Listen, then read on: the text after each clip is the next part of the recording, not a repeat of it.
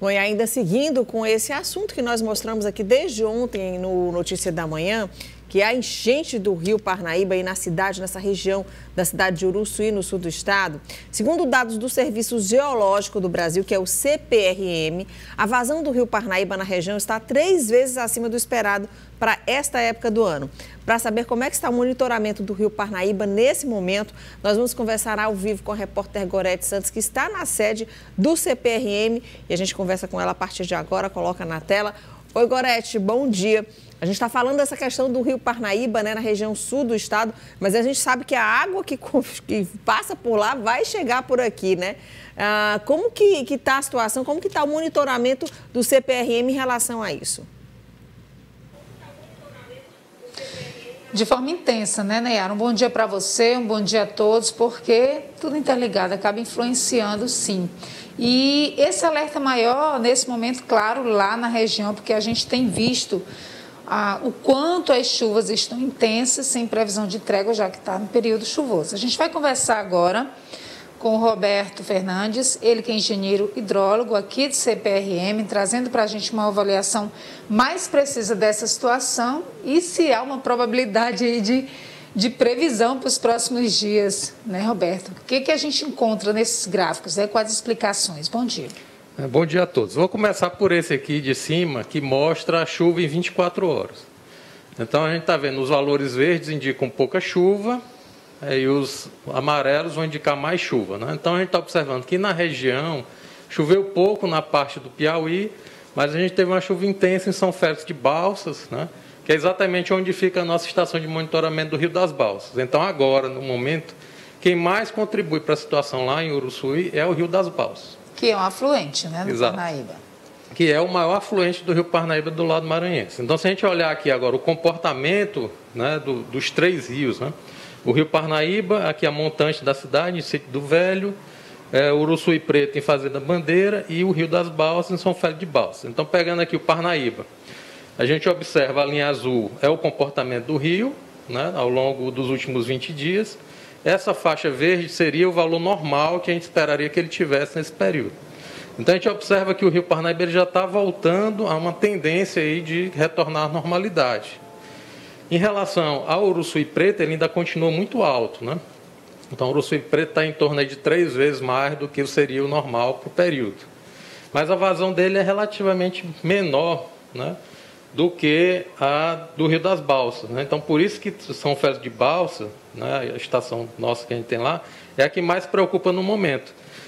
Por essa chuva que ocorreu ontem, a gente observa até uma tendência já de retomada de subida aqui. Ó. Já nas últimas horas, né, você presta atenção, já tem um pontinho aqui subindo, né, indicando a tendência de elevação de nível. Somando as três situações aqui, a gente vai ter a vazão total que passa lá em Uruçuí. Então a gente observa que houve, ocorreram dois picos, no dia 26 e ontem.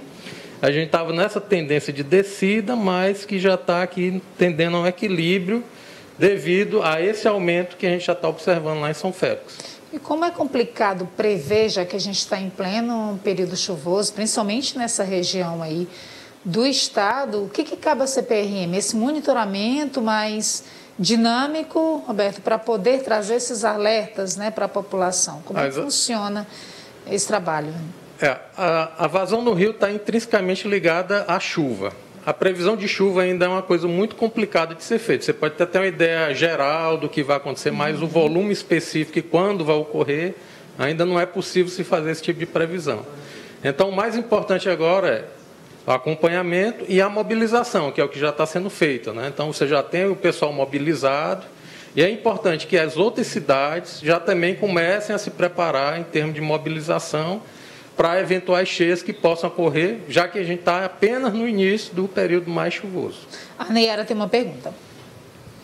Oi, bom dia, é, senhor Roberto. Em relação aos dados que o senhor acabou de passar para a gente aqui, Hoje tem uma tendência de queda, por exemplo, de baixar o nível do rio Parnaíba. É, essa situação hoje atual, então a gente pode esperar para os próximos dias uma amenizada dessa situação, principalmente lá na região de Uruçuí? E a segunda pergunta que eu faço, o senhor até começou já a, a, a relatar sobre isso, em relação às outras cidades. É, por exemplo, Teresina, essa água que está lá, ela vai chegar aqui, porque ela vai para o mar. Então, de que forma a gente deve se preocupar com isso? Bom, bom dia, Nayara. É, em relação à primeira pergunta, a gente não tem como confirmar se vai continuar é, nesse processo de recessão, né, de descida do nível do rio, porque a gente não tem como afirmar que não vai continuar chovendo. Então, se a gente tiver um período de estiagem, não veranico, a tendência é de redução. Mas vai depender muito desse comportamento da chuva nos próximos dias. Em relação à segunda questão, das outras cidades né, que estão a, Floriano, Teresina, Luzilândia, que normalmente sofrem né, com o cheiro do rio Parnaíba, a gente ainda tem a barragem de Boa Esperança protegendo a gente. Né? Essa água que está passando em Uruçuí, ela está a montante da barragem, então ela está alimentando a barragem, que está segurando parte desse volume. A Chess já comunicou que vai aumentar a vazão liberada, a gente deve ter aumento do nível dos rios, tanto em Floriano quanto aqui em Teresina, mas dentro ainda numa faixa de normalidade. Muito mais alto o período né, que a gente está, mas ainda dentro de valores que não devem provocar nenhum tipo de inundação. A preocupação é, já estamos com níveis elevados no começo do período chuvoso, então por isso a importância da Defesa Civil, tanto estadual quanto municipal, já começar os preparativos para, se ocorrer é, um sinistro, né, se ocorrer enchente, estarem todos preparados para diminuir os prejuízos. Muito obrigada, Roberto Fernandes, pelas informações prestadas à notícia da manhã. Falava, né? A gente está no início, a gente sabe que aqui em Teresina, por exemplo, Neyara, o volume normalmente é bem mais alto lá para o final do mês de fevereiro, março, né, início de abril. Então, portanto, tem bastante tempo realmente preocupante. Neyara?